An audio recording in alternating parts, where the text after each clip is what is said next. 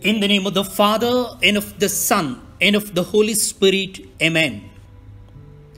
Brothers and sisters, fraternal greetings to you from the Carmelite Fathers, and warm welcome to Carmel Light, reflection on the day's Gospel.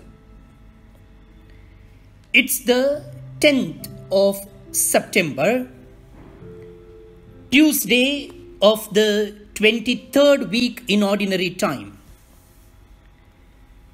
The Holy Gospel according to Luke chapter 6 verses 12 to 19. It happened that in those days Jesus went out into the hills to pray. And all night he continued in prayer to God. And when it was day, he called his disciples and chose from them twelve, whom he named apostles Simon, whom he named Peter, and Andrew his brother and James and John and Philip and Bartholomew and Matthew and Thomas and James the son of Alphaeus and Simon who was called the Zealot and Judas the son of James and Judas Iscariot who became a traitor. And he came down with them and stood on a level place with the great crowd of his disciples and a great multitude of people from all Judea and Jerusalem and the sea coast of Tyre and Sidon, who came to hear him and to be healed of their diseases. And those who were troubled with unclean spirits were cured and all the crowd sought to touch him, for power came forth from him and healed them all.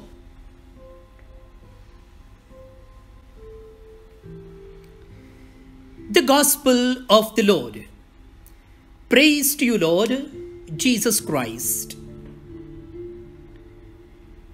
The Gospel reading of today, my dear friends, presents a specimen of Jesus' spirituality. Prayer, family or community, and mission are three dimensions of the life of Jesus. Every Christian supposed to live these aspects in his or her life. Prayer. According to Luke, Jesus went out to the mountain to pray, and all night he continued in prayer to God. Prayer connects us to the Father. Being in constant touch with the Father gave Jesus a clear vision of his identity and strength to carry out his mission. Although the content of Jesus' prayer is not told, we may well deduce from the previous passage that Jesus was going through a hard hitting rejection and tough opposition from the Pharisees and scribes. When things aren't going right, it's worth the effort to connect, consult, and surrender everything to the will of the Father. Prayer purifies, clarifies, and strengthens. Prayer purifies, clarifies, and strengthens. The second aspect of Jesus' spirituality is family or community life. And when it was day, he called his disciples and chose from them twelve whom he named apostles. Each member of Jesus' community had a unique character. They were so different, each with his own background, and far from being perfect. They certainly failed to understand Jesus. One was impulsive, the others ambitious, a third pessimistic, a few with their own hidden agenda, and yet another a betrayer. But Jesus bore them all with love, compassion, and forgiveness. We have to learn how to adjust, accept, forgive, and love our family or community members as Jesus did.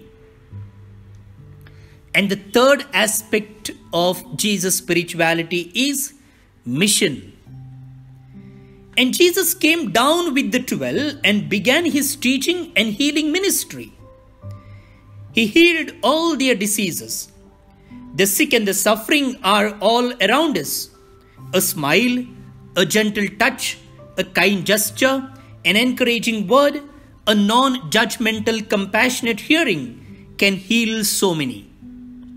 Union with the Father in prayer will help us to live a wonderful community life and reach out to many.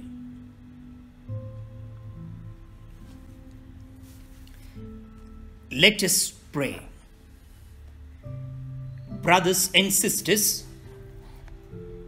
today Maria Jonas from Bengaluru, Janice Mendonça from Malad, Mumbai, Wilson Sequeira from Nidodi, Janet Juliana D'Souza from Bantwal, Florin D'Souza from Kuwait are celebrating their birthday. We wish them happy birthday and we pray God's choicest blessings on them.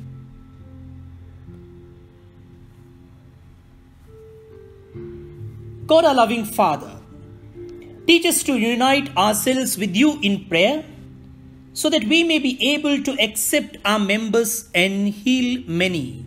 Amen. May Almighty God bless you, the Father and the Son and the Holy Spirit. Amen. This is Father Stifan Perera, Carmelite priest, and my WhatsApp number is 94812 63229. 94812 63229. See you tomorrow. Bye bye.